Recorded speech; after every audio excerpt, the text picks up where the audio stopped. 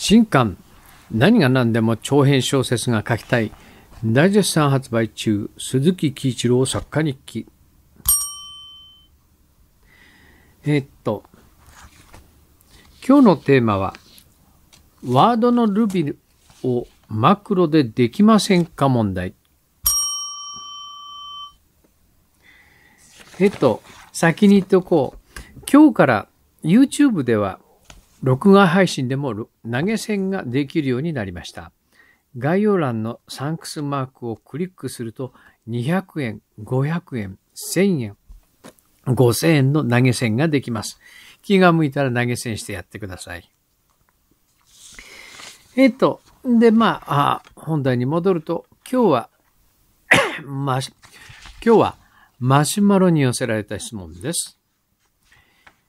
ええー鈴木先生、こんにちは。はい、こんにちは。ワードの原稿用紙設定についてのご質問です。ちょっと違ったよな。ワードの原稿用紙についてのご質問です。だね。はいはい。以前、400字詰め原稿用紙監査へのマクロ設定をツイッターでたまたま見かけました。えー、早速指示された通りに指定してみ、設定してみると、いとも簡単に換算枚数が表示されました。こんな機能があるのだと新発見した次第です。ありがとうございます。いえいえ、どういたしまして。えー、ワード、マクロ、原稿用紙で検索かけると、まあ、うちのサイトに、えー、残るか、出るかな。あと、え、えっ、ー、と、うん、これは、その、まあ、元は、あれだね、えっ、ー、と、どっかであったやつを、うん、拾ってきて、それで、その、自分のワード用に、その、ちょ、ちょっと書き換えてんで使えるようにしましたね。400字詰め原稿用紙で換算でどんだけだっていうのを、えー、ショートカットキーで使ってパッとこうわかるようにやりましたな。えっ、と、今回の質問は、はい、どんなことでしょう。マクロを使用して Ruby 設定はできませんか？っていう うん、そんなもんです。うーん、まず結論から先に言っておこうできませんと言われてしまったらこれで終わってしまいます。プロの皆さんはワードの Ruby 設定をどのようにされているのでしょうか？お忙しいとは存じますが、時間にある時にでも回答していただければ幸いです。えっ、ー、と、まあ、あの、先に言っておくと、その 要は原稿用紙換算ってどうやるんだっていうことは時々言われるので、えー、あの、こう、以前、その、ワードに組み込むマクロで400字詰め換算。で、大体概算で、概算でこのぐらいです、に、ですよっていうことを、ちゃちゃっと計算してくれるマクロっていうのを作ったことがあります。えっ、ー、と、これに関して言うと、お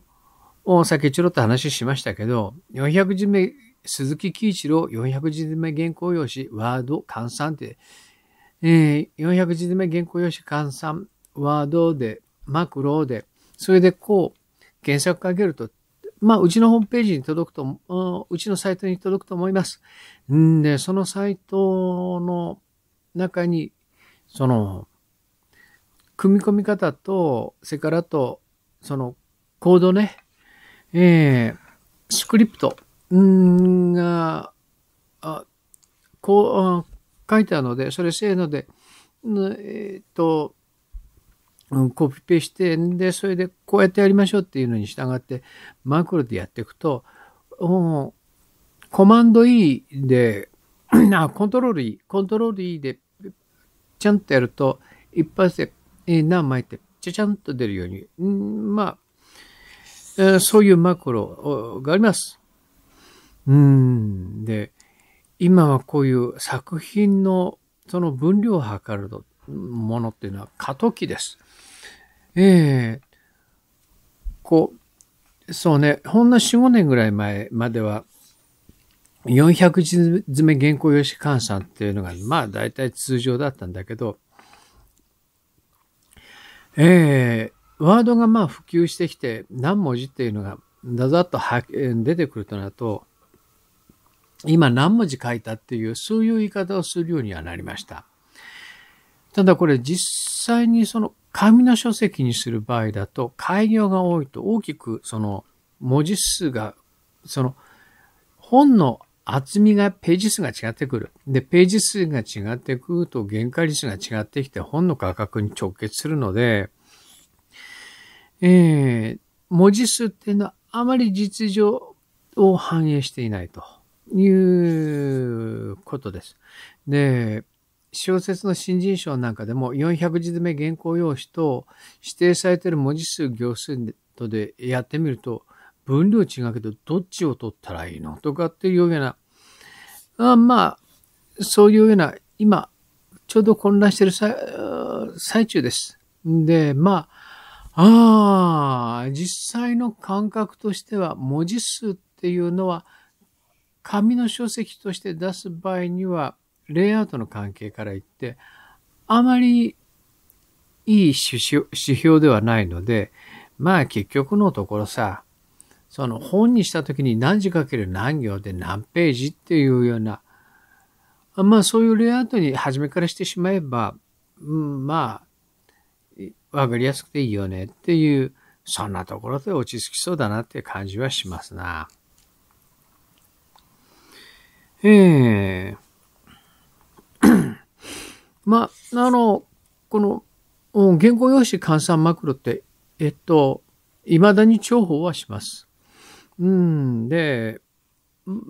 こう、開業だとかそういったものを入れて400字、あの、20字かける20字に、えー、仮に計算するとどのぐらいの何枚ぐらいになるかということを計算してくれるマクロなんだけど、えー、今のところワードがあるかな。で、僕は執筆はあの、秀丸エディターを使ってますが、秀丸エディターもそういう原稿用紙換算マクロ、400字詰め原稿用紙換算マクロってついてますのでね。えー、まあ、これも、まあ、今組み込んで使ってます。うん、いや、非常に重宝します。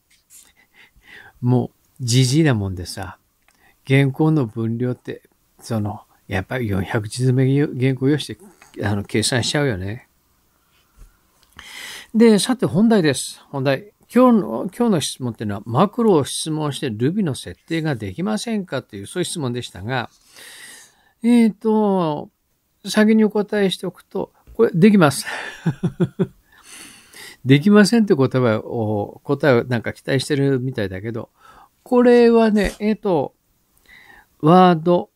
Ruby、設定っていうふうに検索をかけると、一発で出てきます。そのマクロとその組み込み方とね。ただね、これね、えっ、ー、と、小学校の先生が学校の先生向けに作ったマクロなので、つまり、その漢字に全部ルビ振るんだよ。だから小説の執筆には向いてないです。うんで、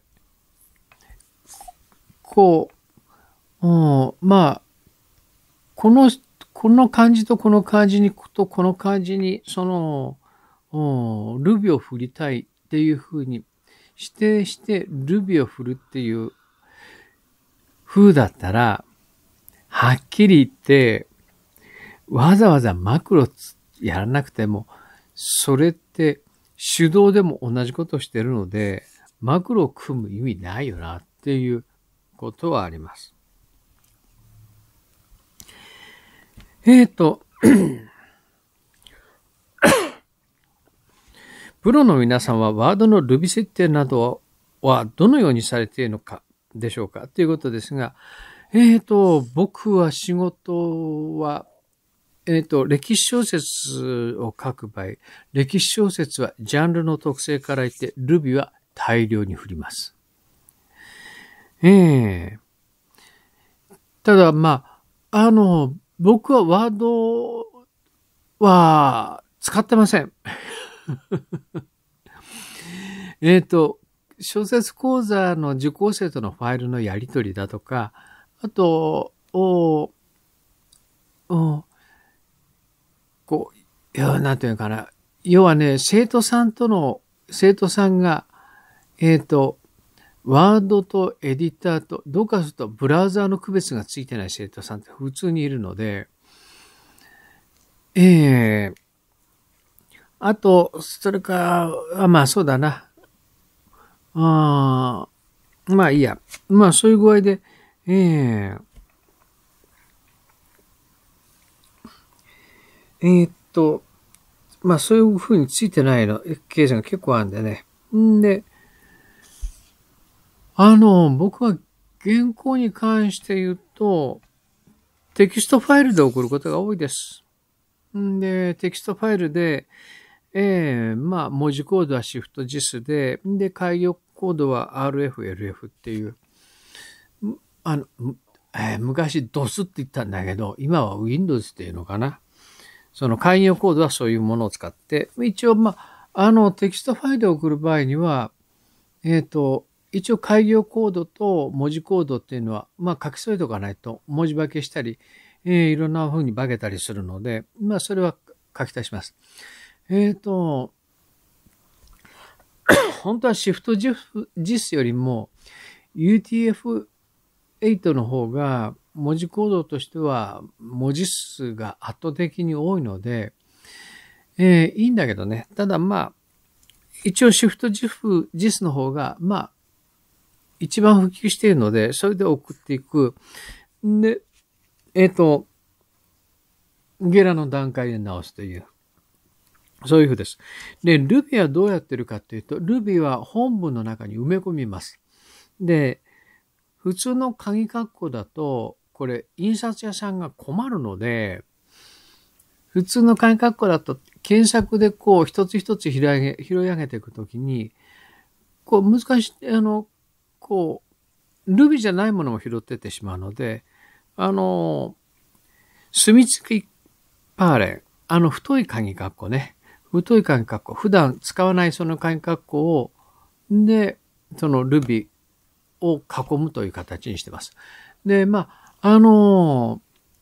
申し送りで、あの、Ruby はこういう、あの、墨付きパーレンツでやってますっていうふうに、まあもちろん申し送りをやっております。で、そうやってやっておくと、印刷屋さんが、その、検索で、その、墨付きパーレンを片っ端からパッパッパッと拾っていくと、あ、ここ Ruby ねっていうことで、それで、えー、Ruby で、えー、起こしていくっていうことができるという風です。で、まあ、ワードに関して言うと、その、小説の執筆には向いてないです。もう、あの、ワードというのは、あくまでもワードプロセッサー、書き上げたテキストファイルを設計するためのソフトなので、えっ、ー、と、原稿用紙換算で何百枚か、12万文字を超える原稿を入、あの、プチプチ入力するようには設計されてないので、時々止まるんだよね。あんな怖いもの危なくて使ってねえやって思うが、あの、ただまあ、本当に使えねえなって思ってても、ただ、その、こう、すごく普及しているので、プラットフォームが違ってもファイルのやり取りができる、だとか、まあ、あと、あの、僕はボランティアでギフダルクのお手伝いをしてますが、ギフダルクの解放の編集をやって、編集作業をしてますが、まあそういう時に、その、新聞の半下を作ったりするときに、あの、こう、半下を作って、施設とのそのファイルのやり取りをするときに、その、ほ、他のソフトだと、こう、レイアウトのレイアウトが崩れたりするんだけども、まあ、ワードのバージョン一緒だったらそういうことはないので、えー、まあ、フォントの種類だけ気をつける。まあ、フォントで、その、システムフォントで、まあ、やるかなっていうことだけはちょっと気をつけだけです。それで使えるのでね。っていうふうです。まあ、ちなみに、本当に気を使うのっていうのは、Ruby はそうやって処理できるんだけど、本当にその書くときに気をつけているのは、Ruby なんかね、実はどっちでもいいんだよ。ちょっと埋め込むだけで済むことだからさ、本当に気を使っているのってのはやっぱりね、そのバックアップっていうかさ、パソコンそのものを信用してないので、パソコンがいつ止まっても大丈夫なようにっていう、その、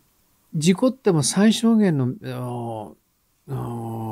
被害で済むようにっていう、そういうことは気をつけますわな。で、原稿は、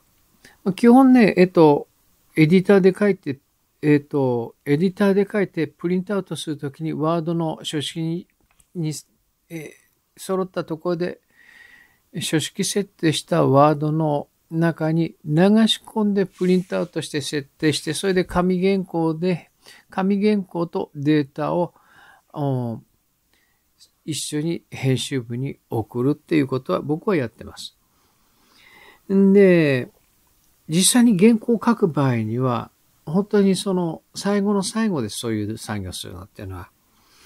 で、その、原稿を書くときに何章っていうふうに100枚単位だとちょっと怖いので、何十枚かの単位に、にまあ、こう、何章何章って分けて書くのよ。エクセル、あ、エクセルじゃない、あの、エディターで。で、こう、そうやって細かく節ごとに分けていくと、なんかトラブってファイルが壊れた時でもそこだけで済むので、で、あと、こう、入力をしてる間に何かの表紙で止まるということがある。えっ、ー、と、今だとね、僕はパソコンつけっぱなしなんで、そういうことってめったないんだけど、あの、こう、バックグラウンドで、その、インプットメソッドを Google 日本語入力だとかが更新してたりすると、もう書いてる最中に文字がとポンとこう止まるっていうことがないわけではないので、えー、やっぱそれって怖いのでね。だから、こう分節単位でこうダーッと書いて、ちょっとでもほんの何秒かでも止まったら指癖でコントロール S をこう、ポンと押して保存するっていう、もう自動保存機能っていうのは僕は信用してないので、まあ指癖でポンとこうやるっていう、そういう習慣をつけます。で、あと、午前と午後で、えー、午前、昼飯食おうぜっていう時、昼休み前には、そこまで取った分のバックアップを取る。仕事終わったら、その分の一日分の分のバックアップを取るっていう。えー、あと一日書いたらその分のを、を、をプリントアウトする。んで、あと、こう、本になるまでは面倒でも、その、プリントアウトしたものは取っておくっていう習慣はつけてます。えー、要は何が起こるかわからないので、まあ、あの、直接知ってる知り合いだけでも、原稿用紙換算で1000枚の原稿を吹っ飛ばしたっていうのは、直接知ってるだけでも2人いるので、2人いるんだよ。えー、まあそういうのを目の当たりにしていると、やっぱりその、トラブルチェックっていうのはやります。えー、もうパソコンっていうのはトラブルするものなので、で、まあトラブルを起こすし、クラッシュするっていうものなので、えー、最小限の被害で済ませるようにっていう習慣はついてます。今、そのパソコンのクラウドサービスで充実してるんですけど、クラウドサービスで、クラウドの中で、そのブラウザー経由でクラウドの中の小説のエディターを使うっていう、そんなサービスがあるらしいんだけど、よくそんな怖いことするなって、そっちにびっくりするよね。それってさ、